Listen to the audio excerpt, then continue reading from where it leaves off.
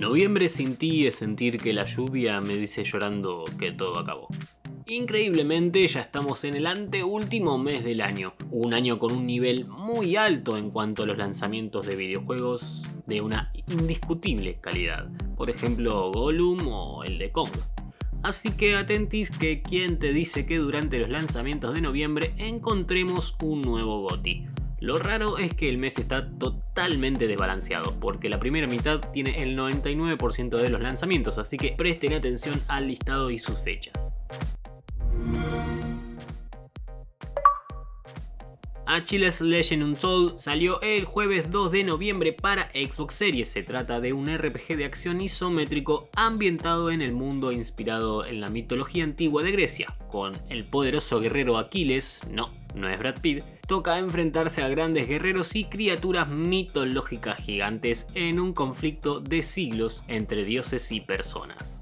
My Time at Sunrock también salió ese mismo día. El juego de rol y simulación de vida nos transporta a una región desértica y rocosa, donde los jugadores construirán un taller, aceptarán toda clase de trabajos, cuidado ahí, para ayudar a una ciudad en apuros económicos y otros problemas por un aislamiento.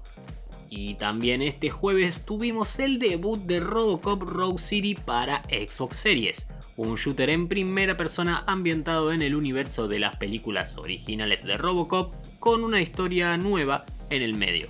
Sabiendo que el peso argentino está cada vez más en decadencia, literalmente lo vamos a comprar por un dólar. ¿Algún fan de Robocop por acá? El mes también arranca con el estreno día 1 en Game Pass de Circe Sweeters, que es un juego de aventuras que mezcla combates por turnos, historias de amor, cocina y skateboarding. Sí, todo eso. Toca ser un joven que debe luchar contra todas sus exparejas y lidiar con otros dramas de la vida. The Taylor's Principle 2 también salió este 2 de noviembre, al igual que el primer título la secuela busca mezclar los puzzles en primera persona con temas filosóficos y escenarios artísticamente increíbles con diversos niveles de dificultad. ¿Jugaron el primer título? Lo recomendamos. ¿Les gusta el relato Cuentos de Navidad de Charles Dickens? Ebenezer and the Invisible World es un título inspirado en este famoso texto, con mecánicas interesantes a partir de las habilidades que nos van a ir dando los diferentes espíritus, una ambientación navideña en crisis y varias cositas más de Metroidvania. Se encuentra disponible para Xbox One y Xbox Series. Tarde DreamWorks, tarde. Parece que Shrek y su equipo se enteraron un poquito tarde de la existencia de los juegos de cards y se suman al listado entre Nickelodeon, Disney y demás. DreamWorks All Star Kart Racing Rally Edition estará disponible a partir del 3 de noviembre a un precio bastante alto. Salir tarde y ser caro, mm, no sé cómo piensan competir, pero seguro salgan últimos en esta carrera. WRC llegará también el 3 de noviembre para Xbox Series. Este será el primer juego de Codemasters en aprovechar la licencia oficial y completa de FIA por el Campeonato Mundial de Rally.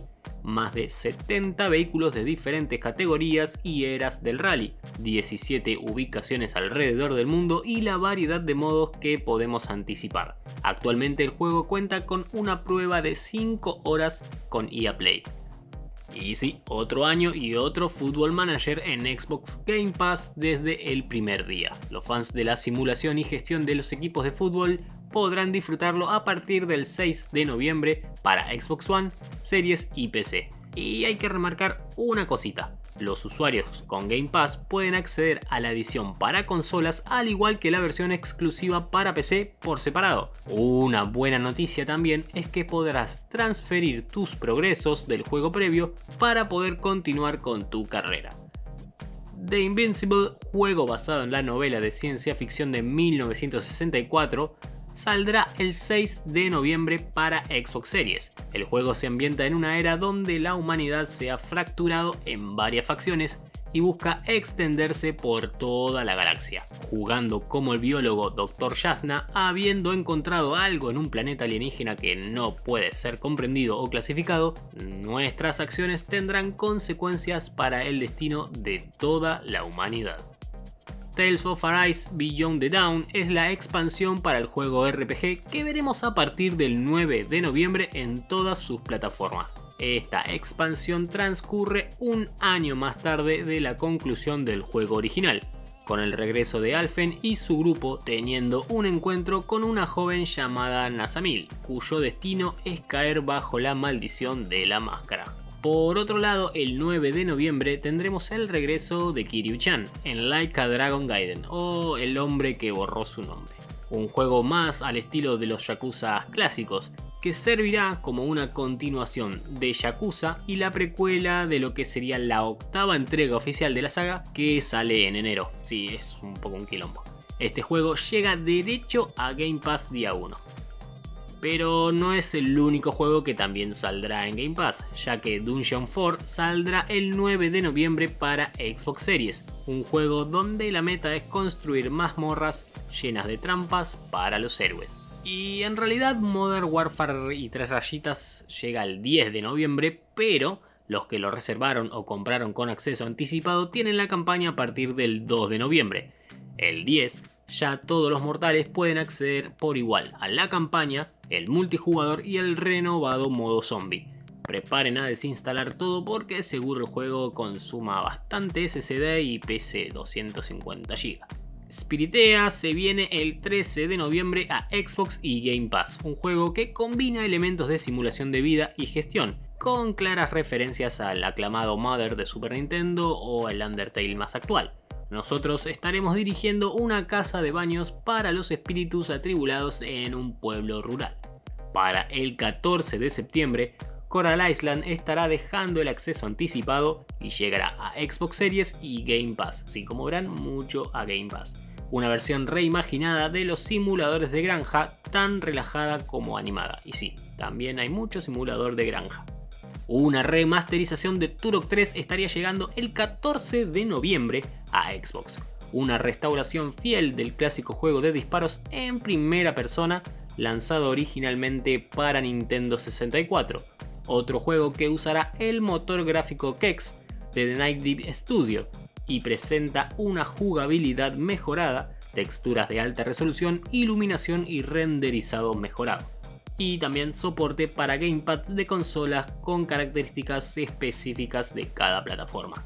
Karma Zoo es un juego de plataformas para hasta 10 jugadores que busca fomentar la conexión, la cooperación y en general ser una persona genial y agradable, o al menos eso ponen en su descripción.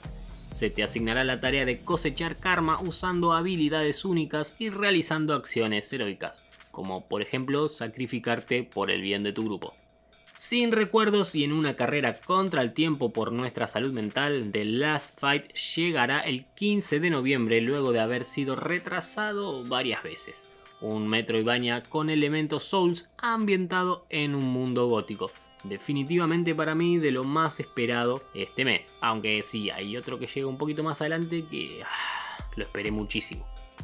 Teardown debutará el 15 de noviembre para Xbox Series. Esta experiencia nos pone en la piel de un empresario con muchas deudas que necesita salvar su negocio, típico de Argentina. Por lo que terminamos aceptando toda clase de trabajos que involucran la venganza, traición y seguros fraudulentos, típico de Argentina. Todo esto siempre con algunas explosiones, choques, demoliciones, robos o destrucción de uno o más edificios. No, no voy a decir nada acá. Después de más de 30 años, ahora sí, ahora sí, por favor, Flashback 2 llega el 16 de noviembre a Xbox One y Series. Para hacer un poco de memoria, esta secuela continuará poco después de haber derrotado a Master Brain en el juego anterior, con Conrad y los aliados una vez más teniendo que unir fuerzas contra la especie Morph, que amenaza a todas las civilizaciones. Mientras tanto, el mejor amigo de Conrad, Ian, ha sido secuestrado. ¿Jugaron el título original? En Xbox se encuentra un precio ridículo. Sé que es un juego difícil y complejo, pero no pierdan oportunidad. Tanto el original original como el remaster que es más accesible. Johan de Farvation Blaze in the Deep Blue, o algo así, es un juego de plataformas y hack and slash en 2D ambientado en ese mundo de fantasía donde nosotros tomamos el control de Johan, mientras se aventura en un calabozo misterioso junto a sus compañeros. El spin-off de Love Live, Sunshine, llegará el 16 de noviembre para Xbox One y Xbox Series. Para el 17 de noviembre, los usuarios de Xbox y Game Pass podremos jugar Persona 5 Táctica, un nuevo spin-off de rol táctico dentro de la saga. Después de un extraño incidente, los ladrones fantasmas vagan por un reino sin conocer donde sus ciudadanos viven bajo la opresión tiránica. Rodeados por un grupo militar llamado Legionarios, se encuentran en grave peligro hasta que una misteriosa revolucionaria llamada Erina los rescata y les ofrece un atractivo contrato a cambio de su ayuda. Y momento otaku del video, Naruto por Boruto Ultimate Ninja Storm Connection va a ser una nueva edición del juego de peleas que también funciona como una recopilación de entregas anteriores con un modo historia, modo multijugador y el roster de personajes más grande hasta la fecha. Una curiosidad es que el juego contará con doblaje para América Latina. Se espera que llegue el 17 de noviembre. Basado en las primeras cuatro temporadas de la serie de The Walking Dead, Destinies es el juego de acción y aventuras en tercera persona que no busca ser una representación fiel, más bien darle la oportunidad al jugador de alterar el rumbo de la narrativa mediante algunas elecciones que pueden determinar quién vive y quién muere. Se espera que llegue el 17 de noviembre a One y Series. Y sí, como les dije al principio del video, todo llega casi a la primera mitad del mes, porque lo único que hay a partir del 28 de noviembre es Roll Drum, que llegará por primera vez a Xbox Series y también lo hará en Game Pass. Un shooter de acción en tercera persona que combina combates viscerales de alto octanaje con movimientos fluidos y mecánicas de trucos de skate. Todo esto en un combo desafiante para crear una experiencia frenética inigualable. Y hasta acá nuestro video de lanzamientos de noviembre. A ver, es cierto que seguramente juegos más pequeños y demás quedaron en el tintero, pero pusimos más de 25 juegos y bueno, en algún momento hay que ir a dormir. Pero, ¿qué te pareció el mes de noviembre en cuanto a lanzamientos? ¿Qué es lo más esperado para vos? ¿Vas a jugar alguno? Contanos en comentarios y ya que estás por ahí recordá darle like y suscribirte a Colectiva Xbox porque básicamente es gratis. Muchas gracias, soy Andrés, me despido y recuerden nunca decir Game Over.